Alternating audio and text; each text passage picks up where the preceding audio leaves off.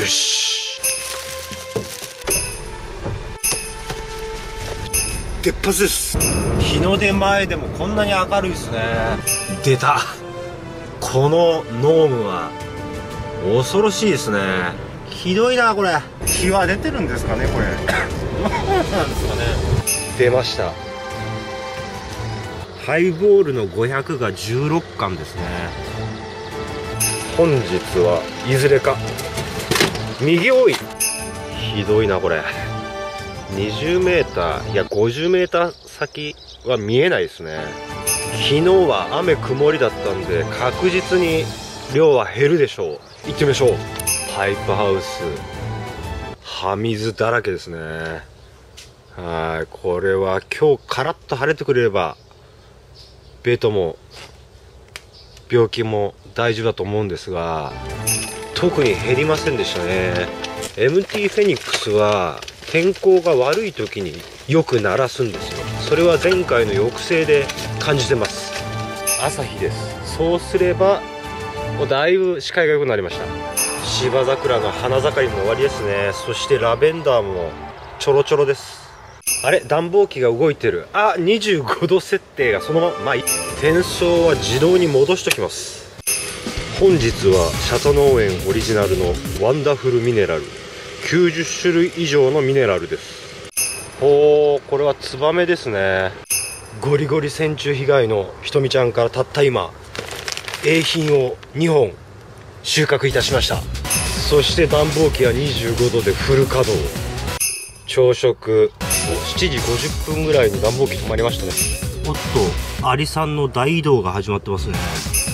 今日は快晴日照は十分にありますんで早めにカーテンで遮光していきたいと思います。はいこの辺りで止めます。はい、はい、リスペクト葉っぱ枯れてるなと思って下見たんですけどやはりすごい。これもう線虫で泥が押し上げられてますね。こちらも。はい。ひどい。ひどいな。あこちらもですね。遮光が必須ですね。あとキチン構想現在8時ですが湿度75%温度27度 CO2352 ですね。いや最後収穫するベッド南側こんだけスッカスカだと気持ちがいいです。いや今日は減りました。10とこれだけですね。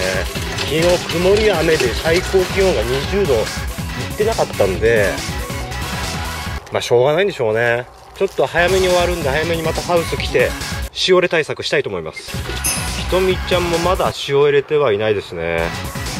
で転送なんですが、えー、あまり湿度を抜きたくないので自動にしておいて多少蒸し込み気味ちょっと温度の上がりが気になりますがそれでいきたいと思います。自動ですとあんなもんしか開いてないですね。はいこっちの方が見やすいか。まあでも1 0センチ以上は開いてます。はい切り上がり13分です。それ今日は少ない。10とあと長箱が2ですねこの奥。はい。はい詰め上がりです。出荷後のダボー。第2便 C3 袋コンテナ3で今日は1290本です。少ない。はいトレサビ2つ吹きました。どうでしょうシャタが手塩にかけて育て上げている多肉植物およびサボテン。みんな多肉植物かな。でもあれサボテンですよね。まばたきで仮眠ができそうです。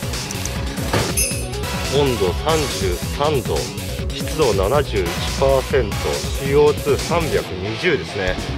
現在お昼前です。はいリスペクトやはりしおれてますね。今ちょっと曇りになりましたけどはい晴れてきましたね。このぐらい晴れちゃうとしおれちゃいますね。これは戻します。忘れないうちに。はい左側金備え2号しおれてないですね。右側 MT フェニックスも大丈夫そうです。あれこちら金備え2号しおれてますね。線虫被害拡大中ですかね。そして右側ゴリゴリ被害。あ芯は生きてますけどゴリってますね。まずはパイプに昼休み冠水。全開リベンジやってみたいと思います。まだサイドを開けな開けなくてもいいかなっていうぐらいの暑さですけどうん。不公平のないようにワンダフルミネラル。はいリベンジオン。あやっぱり大丈夫ですね。吸い込んでます。ちょっと若干ですねあの懸垂が詰まってたっぽいですね。はい冠水完了です。鉄骨ハウスへ水を流します。皆さんなんぜここがなんぜなんぜもっこりしてるか分かりますよね？あれ？あんま耳あらモグラの餌がいる。はい。結構マルチめくると下湿ってますね。で抑制で前回の抑制で通路に結構水をジャブジャブくれてたと思うんですけど今日ですねなんとなくこの株元のチューブをですね通路じゃなくて23時間出してみてこの通路まで滲んでくるかっていうのを実験的にやってみたいと思いますこんだけ水くれちゃ根っこが酸欠を起こしてますかね。MOX 過酸化水素水やった方がいいですかはい。本日も頑張ってまいりましょう。日はまあ午後来るのは2時過ぎになっちゃいますけどそれまで出しっぱなしにしたいと思います。はい。最初はピヨピヨじゃんけんチョキ。じゃまた。はい過酸化水素水。あ医薬用害劇物なんですねこれ。あこれは殻ですね。前作使った時の殻はい。結局新品ゲットしました。35%過酸化水素水。はい、ち